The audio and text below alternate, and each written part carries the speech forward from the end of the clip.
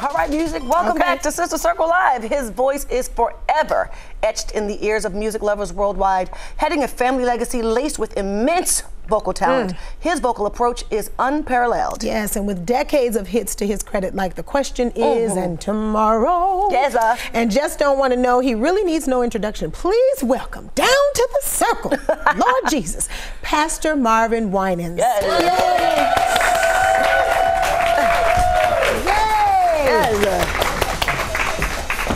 How are you, Pastor? Excellent. Thank you. Thank, Thank you for Good coming. morning, good morning. Have a seat, have a seat. I think you're sharp, Pastor. Yes. Oh no, I'm just trying to keep up. I, you know. My God, today. You are sharp today. Uh, now, we've had BeBe and CeCe down Oh, to the don't circle. don't hold that against me. Actually said, I mean, I, I couldn't believe it, but he said there are human beings in this world that said that him and CeCe actually did not have the talent to start in this industry, which I think is absolutely ridiculous. How because the whole family is lit, just the All the whole family. yes. But wh- when did you know personally that you had this gift, and who can you accredit the the fostering of that gift? Uh, well, our parents. Um, uh, my eldest brothers, David, uh, then Ronald, and Carvin, my twin, and then myself. Uh, my mother took us. I was around four years old, so my brother would have been 4 and David was uh, eight. Ronald would have been six, and. Um, she had us sing. Our great grandfather was a pastor, and so they, we had a convocation and and we sang. Mm-hmm. And it was like after our father heard us sing with my mother, who mm-hmm. played the piano, mm-hmm. and we did a good job. Then he said, "Oh, I'm taking it." Taking these guys, and then we became a quartet group. Okay. Uh, 'cause my father was a quartet singer and love, you know, was friends with Sam Cooke and all those people, and and uh, so that's what we started doing. And he uh, really taught us how to hear harmonies, how to. um you know, sing together, and and you had to get your part right. Right. and Funny. I felt ri- bad for Ronald because he he was always singing a little off. so he had to stay down there after we went to bed. But um, but he really corralled us, and uh, and it was just the four of us. So then we retired at 12 years old. I Mm-hmm. Oh, wow. I'm done with this. Okay. And uh, Ronald and I just kept singing, and we formed different groups at our church, and. Um, at 12, I wrote my first song. Wow. And then, it just went on from there. Wow. Yeah. wow. But it, my parents really started us with singing, and then we we grabbed Ronald. I mean, we grabbed BeBe and CeCe and the rest of them mm-hmm. and taught them how to sing, and we just Wow. it, it just sang all The the, whole time. family, yeah. Woo. Yeah, speaking of family, my family, the Braxtons, we grew up listening to the Winans and Yeah. singing the Winans. Oh, no. Getting our harmonies together too. We got popped. grew up together. you know, but, but but music has changed. It's evolved, so to speak, uh, since we were growing up and singing gospel music. And there's a lot that people have to say with contemporary meeting traditionalism. But we all know when you guys did Needed You back in the day, you guys collaborated with George Duke, and you know, but people don't know about that collaboration even way back then. What say you about the evolution of gospel music? and I turn think uh, there was there was a moment in history where gospel uh, had the opportunity to be as big as country in Western and stand on its own and and you know that's that's just the fault that I have with how they didn't understand where we were. Right. And um, so at that time, uh, the the ones that really went outside of the tradition uh, that understood the call was to reach the world uh, really influenced us. I remember walking into an Andraé Crouch concert when I was uh, 14 years old and stood there and said, that's what I want to do for the rest of my life. Wow. Um, a- and what was amazing is that even though his concert was in Detroit, he had 60 to 70 percent of a white audience, which was strange. Wow. I was like, where am I? But music, I, fast forwarding, uh, and which started the the thought of the school, uh, the Winans. We were in uh, Japan, in Tokyo, and sold the place out. And you know, there was a pic- particular time in our uh, show where we would ask the audience to come up and do the rap for uh, its time. and so I'm like, I'm in Japan. Yeah, and this guy came up and I said, "Okay, anybody know the rap?" This guy came up with a with a high top fade and and and and some red handkerchiefs in his back pocket.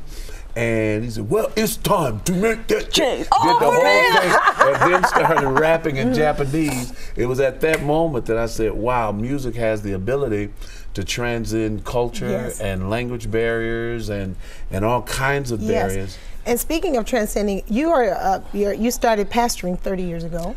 Talk to us about your 30 year anniversary with your church. Congratulations. Who, know, who knew the time could go so My God. fast? What we started in, in 30 years ago, we uh, started a church with eight people. Uh, Donnie McClurkin was one of them. Yes. And um, then the school started, the Marvin Winans Academy of Performing Arts, which is a public school academy. So uh, then the Amelia Agnes Transitional Home for Women, because we discovered that women was the largest and fastest growing uh, transitional home folk homeless uh, population and then just kept going so it doesn't even seem like it's been 30 years and uh, time is going so fast Well, Marvin, we thank you so much for joining us, and congratulations on the 30 year anniversary of your Thank church. you. And if you're staying with us, you'll see you'll we'll hear more from Marvin in the next segment. But if not, thank you so much for having us, and stick around.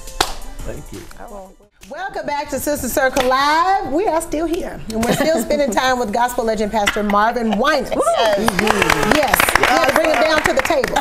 Um, Pastor Winans, so you've worked with several icons: Whitney Houston, Stevie Wonder, Michael Jackson.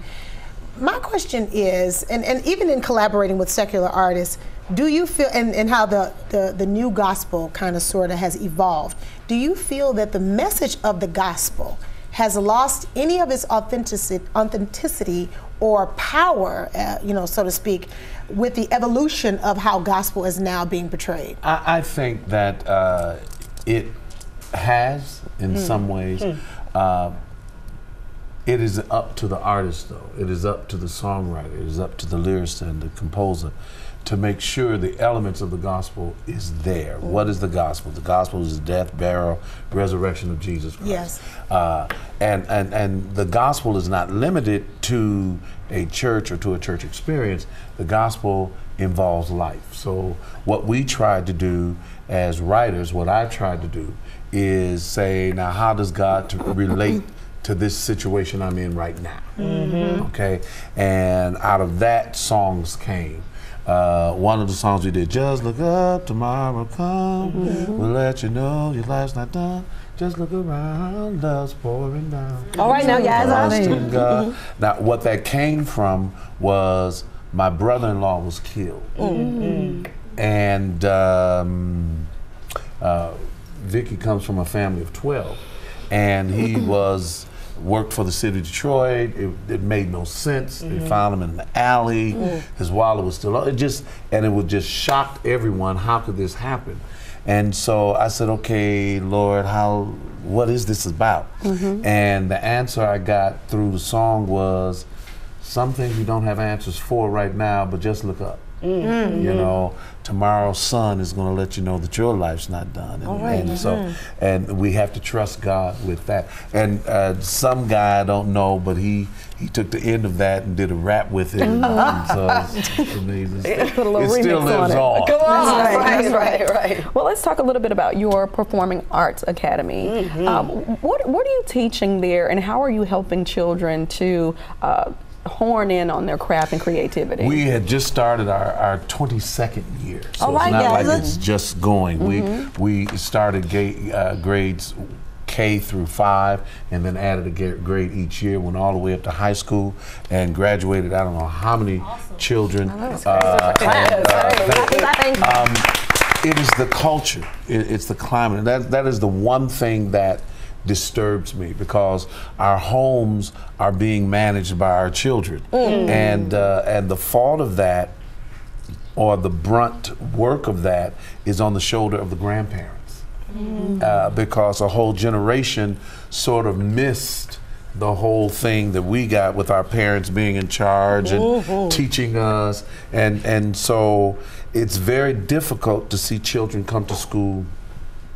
What's your name uh, baby. Okay. Oh. And well, what's your mama's name, mama? What's your daddy name? You know, they don't they don't have the basic mm, skills. Wow. Mm-hmm. And Those then, soft skills. Yeah, when they come out of a car, there's this puff of whatever mm-hmm. coming out with them, and some things we can't do you know, Yeah. as a people, as a race. I heard you talking about the HBCUs, and uh, as a culture, as a as a as a people, there's some things we have to put the main thing first, and our Yeah. children are very very important. And so we try to create a climate at Winans Academy where the children understand they're loved. Mat- As a matter of fact, they open up every day affirming themselves. I'm a student of the Marvin L. Winans Academy. I'm created in the image of a super intelligent God. Thusly, I'm educable, successful, and strong, uniquely talented. I am disciplined and capable, willing to love, learn, and lead my generation. And this will I do, so help me God. My God. And, uh, Yes, right. yeah, That's I think good. they Say that learn every morning.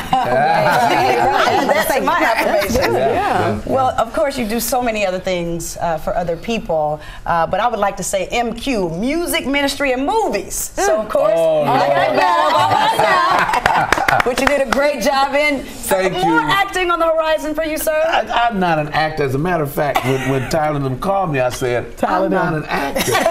and they said, they said, yes, you are. You, can, you can do it. And I said, as long as I'm better than BeBe and Donnie, I'm good.